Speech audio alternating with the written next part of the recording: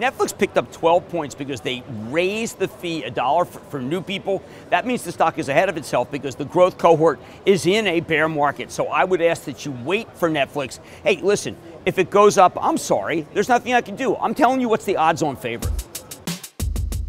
All right, Eli Lilly is down an extraordinary amount off a drug that wasn't even in my numbers. You want to own Eli Lilly for its diabetes drug. You want to own it for its Alzheimer's formulation. I said when it was down 10, you had to buy, buy, buy. I reiterate, if you can get it under 80, just go buy it. At 28, 29, I said EMC is probably done. I took a lot of heat on Twitter from people who said, hey, you cut me off before 33. I want you to grow up, okay? I want people to grow up. This is not what you do. If you're an arbitrager, you can hold on to EMC. If you're not an arbitrager, you're supposed to ring the register. Again, odds on favorites. People on Twitter understand.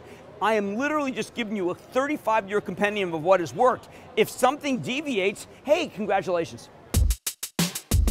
When you talk about growth and what's not working, you should be thinking about GoPro and Ambarella and Mobileye. I'm, I'm sorry, I know that people own this, these stocks.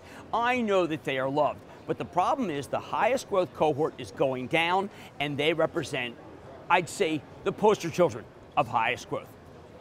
To get more of Jim Cramer's investing ideas, as well as a peek at other stocks he owns in his multi million dollar charitable trust portfolio, subscribe to Action Alerts Plus. Sign up for Action Alerts Plus at getcrameredge.com. That's getcrameredge.com.